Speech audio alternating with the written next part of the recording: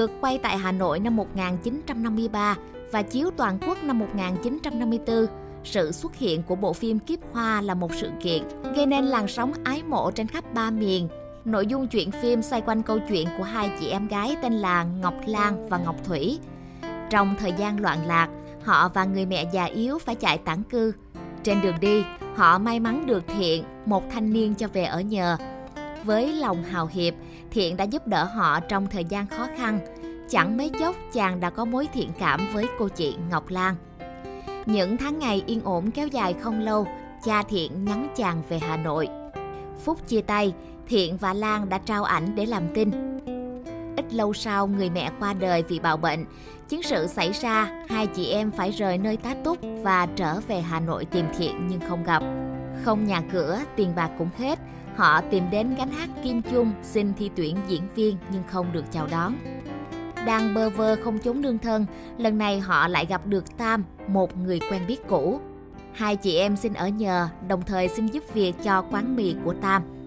Một ngày nọ Lan gặp Nhạc, một người bạn của Thiện. Chính Thiện đã đưa ảnh cho Nhạc nhờ bạn đi tìm Lan.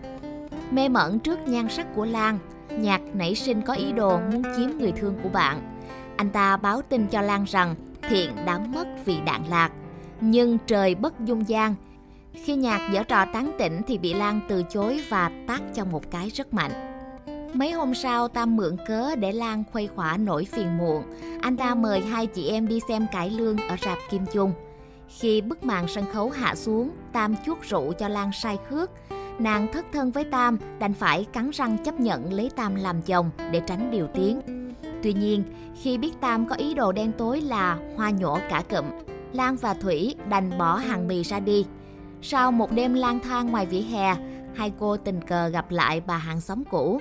Bà cho họ một số vốn để làm ăn.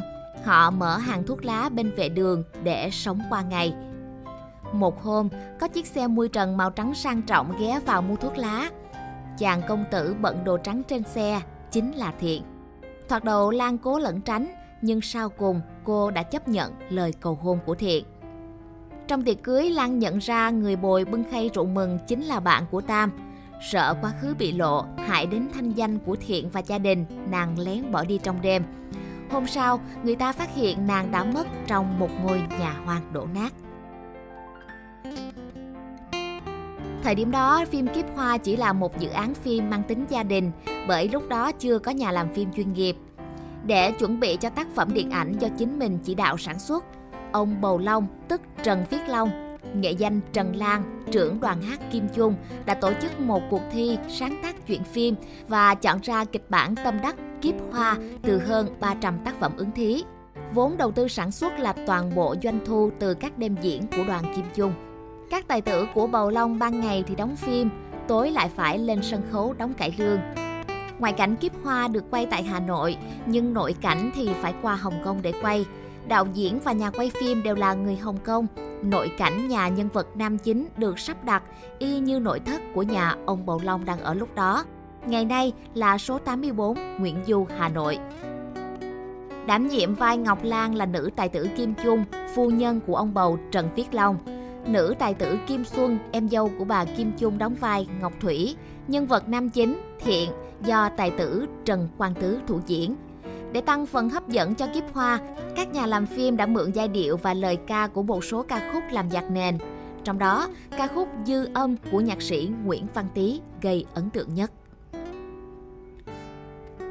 Ra đời trong thời hoàng kim của nghệ thuật cải lương, trong khi điện ảnh vẫn còn xa lạ với công chúng. Do đó, cách dàn dựng trong phim còn nặng tính ức lệ, lối diễn xuất cũng như kỹ thuật hóa trang chưa thoát khỏi ảnh hưởng của ca kịch. Tuy nhiên, so với mặt bằng chung của điện ảnh thế giới lúc bấy giờ thì hiện trạng như vậy cũng không đến nỗi nào đối với một bộ phim truyện đầu tiên ra mắt công chúng. Ngay từ khi sắp công chiếu, bộ phim Kiếp Hoa đã trở thành một sự kiện đình đám. Thậm chí nhà sản xuất còn thuê một máy bay trực thăng để rải các tờ bướm quảng cáo quanh Hồ Gươm, Hà Nội. Do đó khi trình chiếu, bộ phim được đông đảo công chúng nô nức đến xem. Tiền bán vé thu được đã giúp ông Bầu sắm được một ngôi biệt thự sang trọng, đồng thời giúp ông đầu tư phát triển tới 7 đoàn kim chung đi diễn khắp miền Nam về sau. Không chỉ chiếu ở Hà Nội, phim còn được chiếu ở Sài Gòn và nhiều tỉnh ở miền Tây Nam Bộ. Nhiều nơi bộ phim gây cháy vé, một phần nhờ vai Ngọc Thủy của nghệ sĩ Kim Xuân, một diễn viên rất ăn khách thời bấy giờ. Theo nhiều nhà nghiên cứu điện ảnh, thì nghề đầu cơ vé xem phim cũng bắt đầu từ bộ phim này. Ở Hà Nội suốt tháng 10 năm 1953, Kiếp Hoa được chiếu cùng lúc ở rạp Đại Nam phố Huế và Bắc Đô Hàng Giấy có chênh nhau nửa giờ. Cứ xong một cuộn ở rạp này, có người chạy xe mang sang rạp kia để chiếu tiếp. Ở Sài Gòn, phim cũng chiếu cùng lúc ở hai rạp Nam Quang và Nam Việt. Do tình hình biến động của đất nước, suốt một thời gian dài sau năm 1954, phim Kiếp Hoa vắng bóng ở cả hai miền Nam Bắc. Thật may gần đây, trước khi qua đời năm 2008, nữ danh ca Kim Chung đã gửi tặng Viện Lưu trữ phim Việt Nam 8 cuộn băng gốc của bộ phim này. Các chuyên gia kỹ thuật của viện đã bắt tay vào việc phục chế bộ phim và hoàn tất vào năm 2012. Về ca khúc Dư âm của nhạc sĩ Nguyễn Văn Tý, bài hát góp phần làm bộ phim Kiếp Hoa thành công vang dội. Dư âm được sáng tác năm 1949.